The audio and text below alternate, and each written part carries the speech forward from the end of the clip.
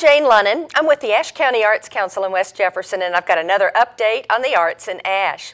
So happy to have with me a guest today, Jay Wild. Jay, welcome to the show. Well, thank you. Jay is a photographer uh, and a resident of West Jefferson and Ashe County. And um, Jay, you're also a recipient of one of our 2014-2015 Regional Artist Project grants. That's true. Grateful. Congratulations recipient. on your grant. Thank you. You know, for those that don't know about the Regional Artist Project Grant, it's uh, a, a, pool of money that's open to artists in Ashe, Watauga, Alleghany, and Wilkes counties every year. Artists apply for funding from this grant pool um, for projects that will help them advance their career, take them from one level of proficiency with their art form, whatever it is, to the next.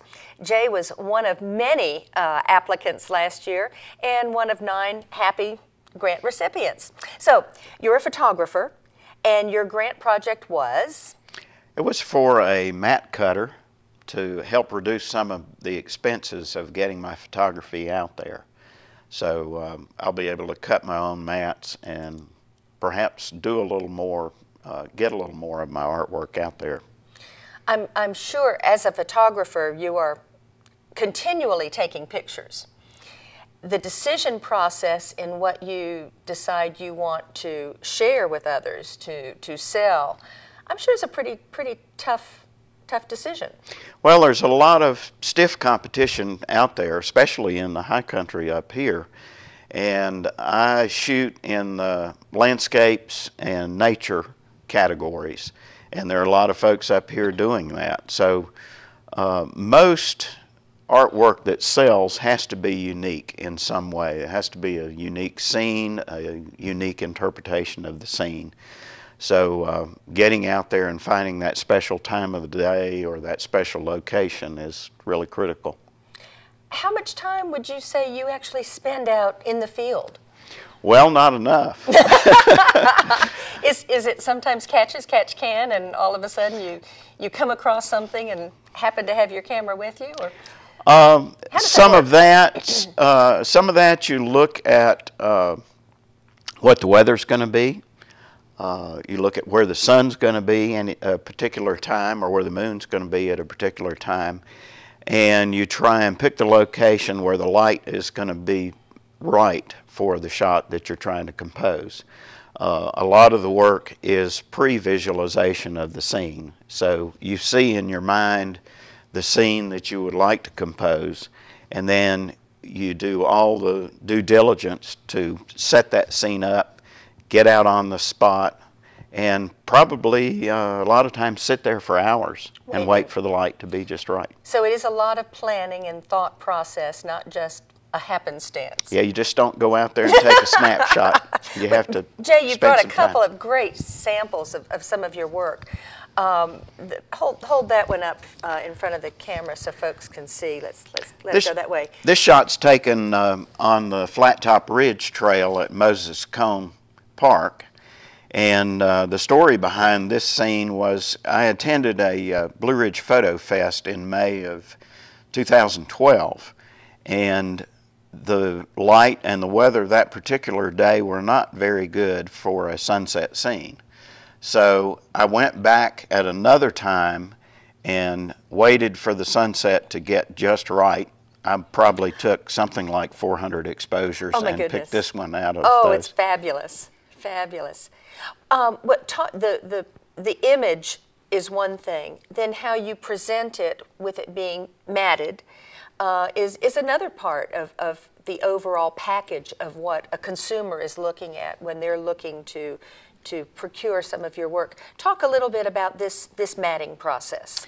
Uh, part of the matting process is to pick the right color mat and the right combination of mats, if it's a double mat, to uh, bring out the highlights in the scene and really interpret the uh, tonal quality of the scene and what it's trying to say. Uh, I can't really take credit for the framing on this particular mat. Uh, uh, a little pitch. Uh, Lori's Framing here in Boone did this mat, and uh, they have quite an eye for matching the color in the scene to the mat.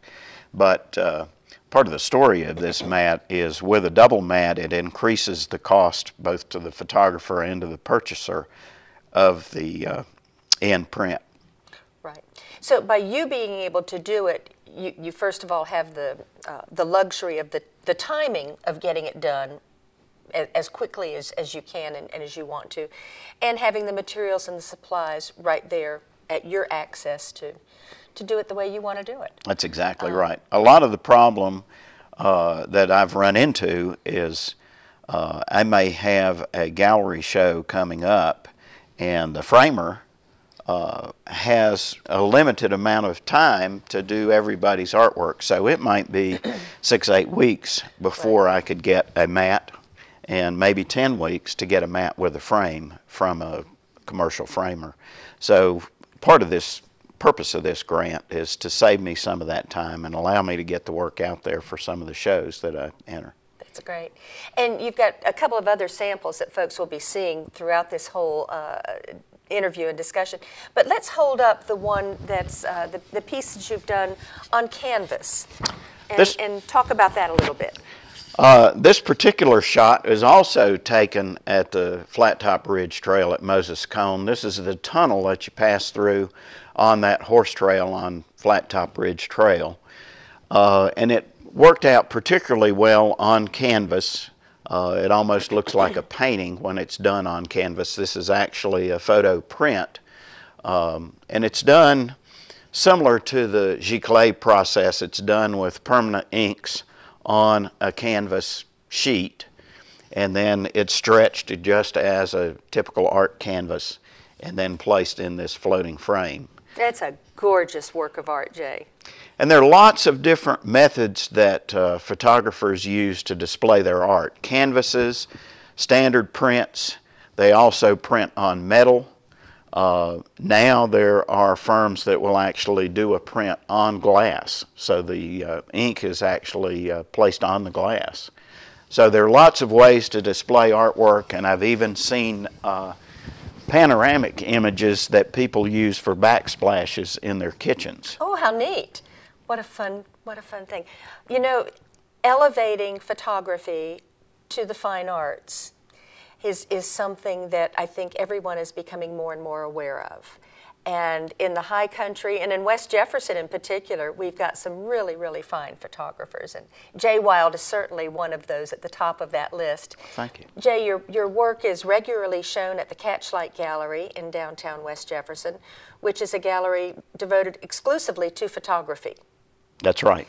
And the Catchlight Gallery represents how many photographers? We've got uh, 17 artists at the Catchlight Gallery, and we also uh, have an exhibit of the local high school students' uh, black and white photography. So, back in the back corner of Catchlight, you can see some of the up and coming high school artists. Oh, that's great encouragement for them.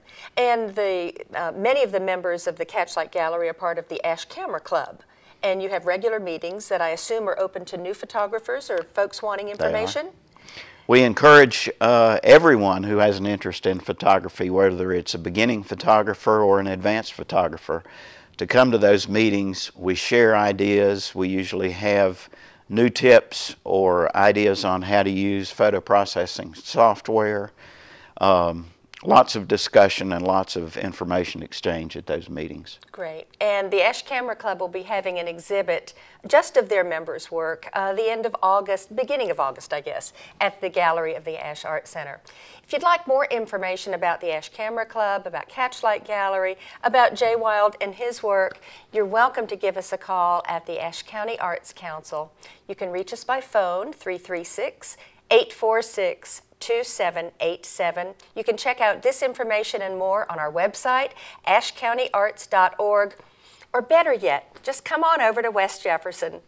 Put on your rain slicker or your, your mittens and your gloves and your woolly hat and walk around downtown and check out the gallery scene and the visual arts in Ashe County. Jay, it was a pleasure to have you here with me on the show. Love seeing your work. Congratulations again on your Regional Artist Project grant. Thank you. Have a great day.